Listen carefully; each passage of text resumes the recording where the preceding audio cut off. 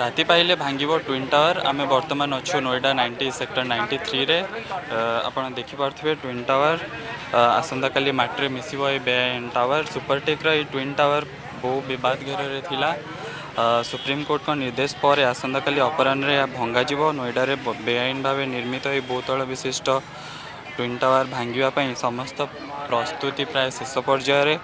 ପୁରା ବିଲ୍ଡିଂରେ ବିସ୍ଫୋରକ ଲଗାଇ ଦିଆଯାଇଛି মাত্র ন সেকেন্ডরে মাটিরে মিশিব এই ଟାୱାର ଲୋକଙ୍କୁ ଆସନ୍ତାକାଲି ସାତଟା ସୁଦ୍ଧା ପାଖ ଆଖପାଖ ଅଞ୍ଚଳର ବାସିନ୍ଦାଙ୍କୁ ସାତଟା ସୁଦ୍ଧା ଏଠାରୁ ଇଭାକୁଏସନ୍ କରାଯିବ ପ୍ରଥମ ଟାୱାରଟି ବତିଶ ମହଲା ବିଶିଷ୍ଟ ହୋଇଥିବା ବେଳେ ଦ୍ୱିତୀୟ ଟାୱାରଟି ଅଣତିରିଶ ମହଲା ବିଶିଷ୍ଟ ପ୍ରଥମେ ଛୋଟ ବିଲ୍ଡିଂଟି ଭଙ୍ଗାଯିବ ଏବଂ ପରେ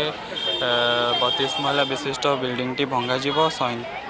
ତିନି ହଜାର ସାତଶହ କିଲୋଗ୍ରାମର ପାଖାପାଖି ତିନି ହଜାର ସାତଶହ କିଲୋଗ୍ରାମର ବିସ୍ଫୋରକ ଏଥିପାଇଁ ବ୍ୟବହାର କରାଯାଉଛି ଏହା ଭଙ୍ଗାଗଲା ପରେ ପରିବେଶ ଉପରେ